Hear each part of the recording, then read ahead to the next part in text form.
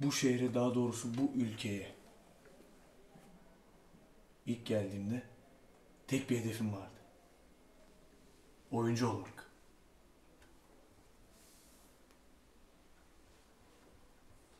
Öncesinde bu mesleğe dair pek bir bilgim yoktu. İzlediğim bir iki oyundan, okuduğum bir iki kitaptan etkilenmiştim.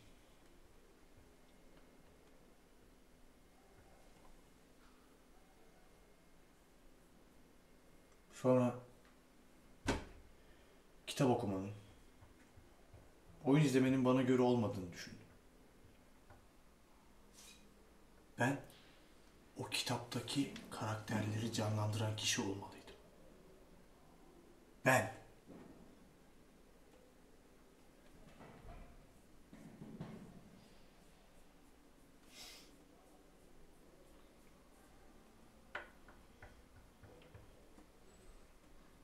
Ben olmalıydım. Ben. Ve bu hedefe ulaşmak için her şeyi yapardım. Her şeyi yaptım da. Ama bazıları yaşımın küçük olmasından ve Kıbrıslı olmamdan dolayı bu işi beceremeyeceğimi söylediler. Ama ben başardım. Ben bunu yaptım. Evet.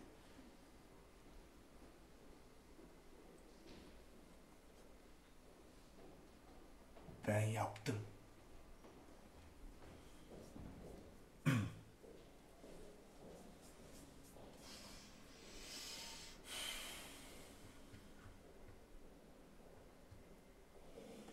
Çok zorluk çektim.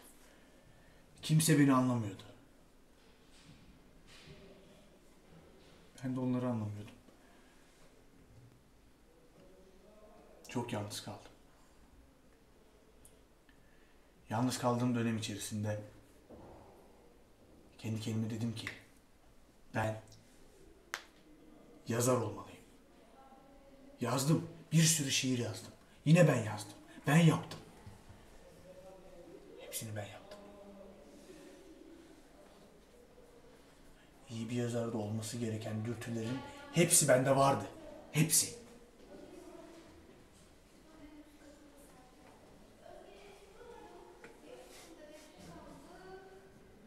Bazen elinde bir sürü kağıtla çıkıp gelirdi yanımıza. Gece boyunca yazmış olduğu o kötü şiirleri okuyup dururdu bize. Ben geleceğin en büyük yazarlarından biri olacağım derdi. Çok zor günlerdi çok.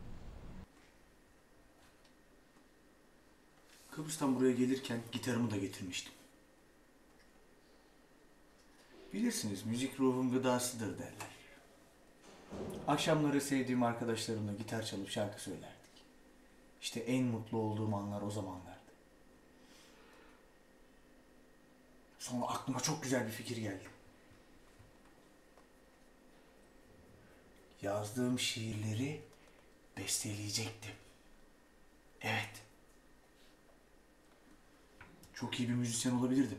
Müzisyen olmayı kafama koymuştum artık. Kafamı yastığa her koyduğumda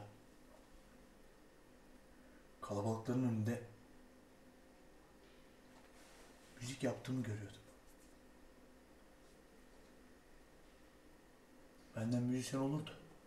Çok da güzel bestelerim vardı. Evet.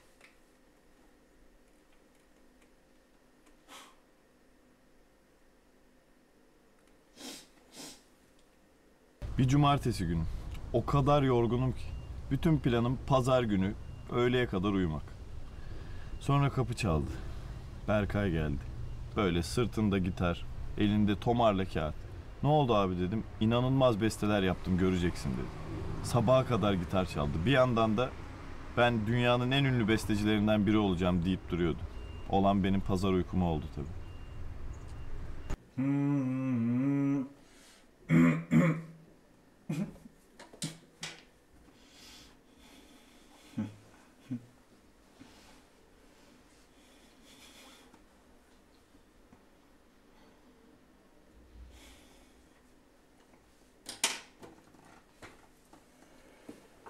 Yaşım ilerledikçe artık daha fazla bilinçlendiğimi fark ettim. İyi bir oyuncu olabilirdim. İyi bir müzisyen de olabilirdim. Hatta iyi bir şair bile olabilirdi. Ama artık daha fazla sorumluluk almanın zamanı geldi.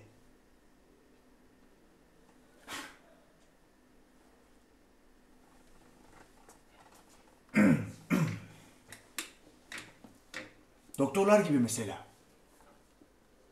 Evet, doktorlar gibi.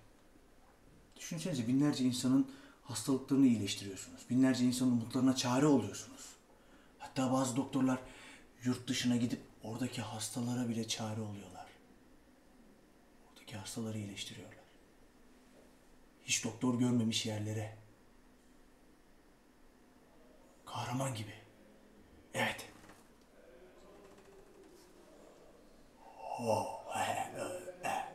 He.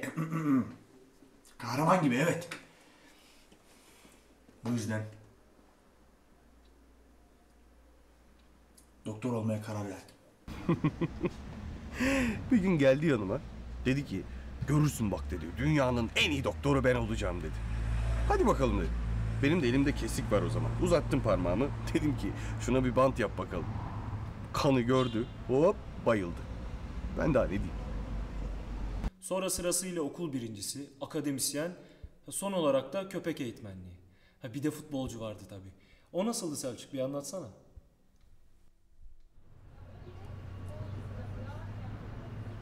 Puslu bir sonbahar sabahıydı.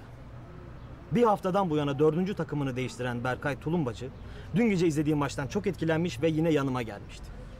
Okulun merdivenlerinden ağır ağır çıktı ve bana baktı.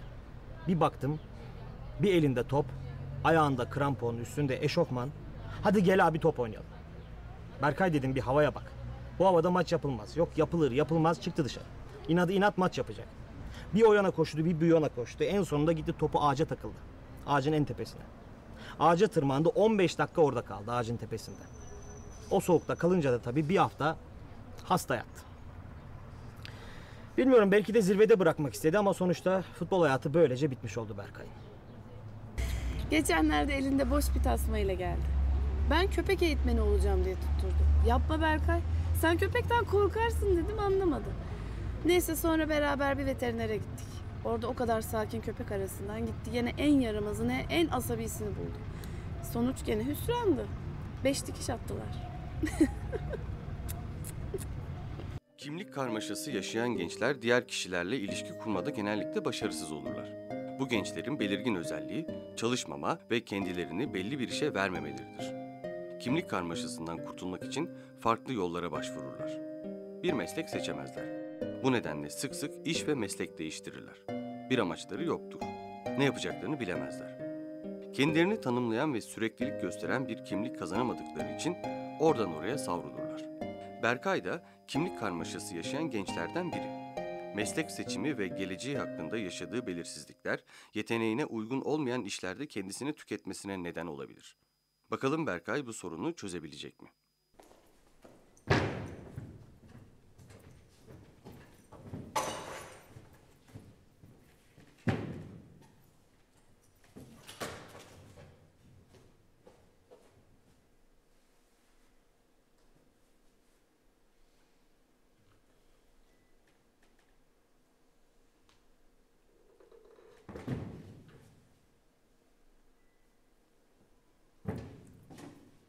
Duymuşsunuzdur bayanlar baylar.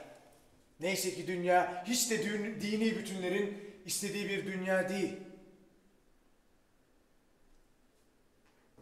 Zengin hep zengin, didirim, didirim, yoksul hep yoksul, dırım, dırım, bağışlasın Tanrı katı yürekliliğimizi.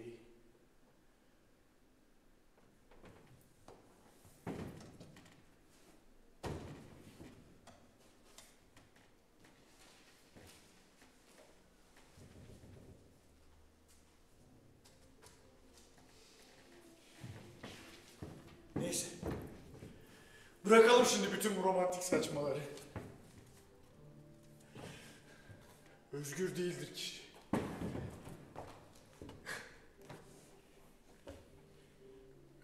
Kapılmıştır çarkın olayları.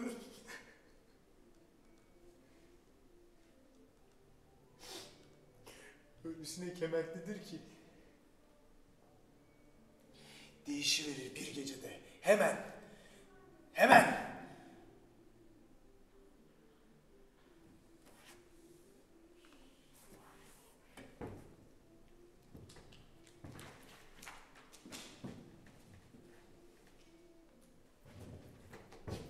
Unutmayın ki acıma ve gözyaşı yıpratır kişiyi. Yoksulluk, yoksulluk karanlık yollara saptırır. Öğrenin. Neler umuyoruz, neleri seviyoruz. Çevremizde bir dünya. Tefecilik, yalan dolan. Dönüp duruyoruz durmadan. Durmadan.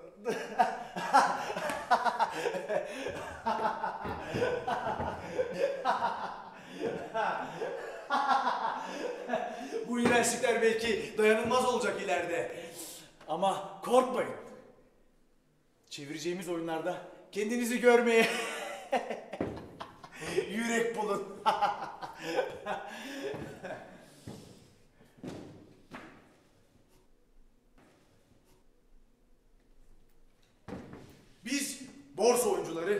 para işlerinin papaları, kontları, krallarıyız. Kontları, kralları, imparatorları aramıza her yeni katılanla düşerek daha bir karanlığa işte karşınıza çıkıyoruz.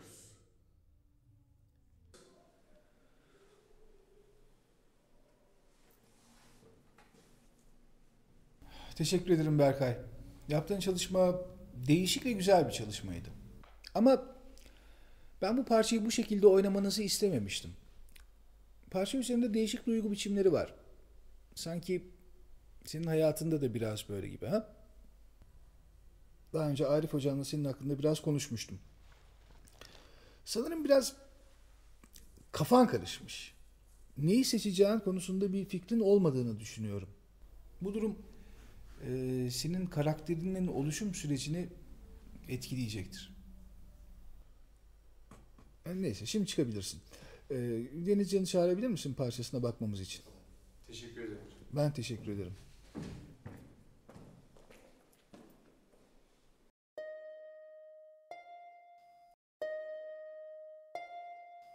Kimlik karmaşası farklı ruhsal sorunlara neden olabilir. Alıngan, kuşkucu, anlaşılmadığını ve haksızlığa uğradığını düşünen genç yaşantısından memnun olmaz.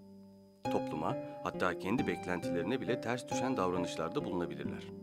Başkalarına benzemek istemeyen genç kim olmak, ne olmak istediğini bilemez. Karmaşaya yaşayan gencin bu sorunundan kurtulması için profesyonel destek alması gerekebilir. Umarız Berkay en kısa sürede tedavi olup gerçek kimliğine kavuşur.